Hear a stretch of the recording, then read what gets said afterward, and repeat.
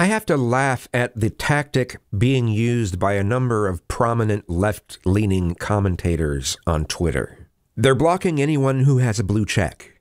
Now, they haven't found a way to automate this process, but anytime there's someone that's replying to anything that they're saying, then they have a blue check, they automatically block them, regardless of the content. And this is all because Elon has done what he said he would. He's giving those with a blue check more priority and visibility.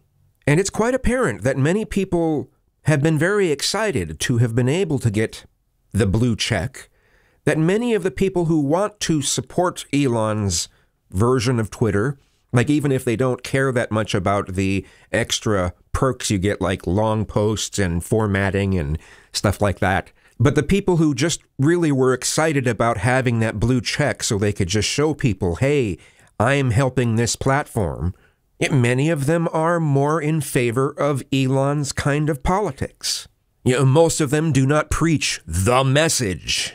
Most of these blue checkers do not want to dismantle the prevailing oppressive systems that make up society because these systems have been declawed for the most part.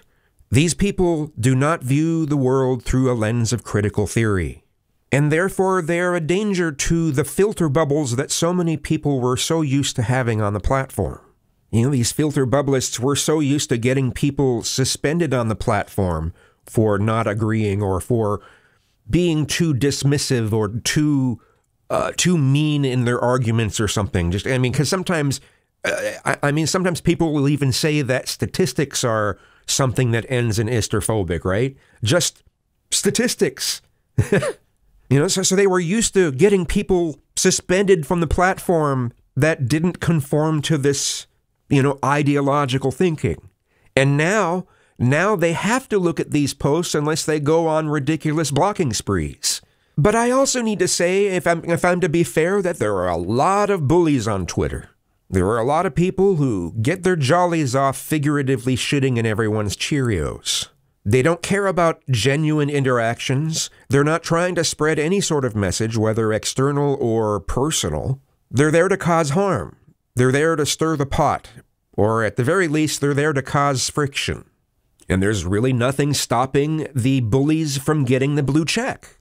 And we all have to deal with it from all sides. But that's just how these platforms work when they're not locked down to one ideology. It's something I expect. But I also expect that Elon will work with people to try to find new ways of uh, suppressing the bullying kind of behavior. There, there, there should be something in place. We don't know what it is right now, but we know that just like removing a whole bunch of uh, people who have the wrong opinions off the platform is not the best way to go about things. We need to be able to have discussions.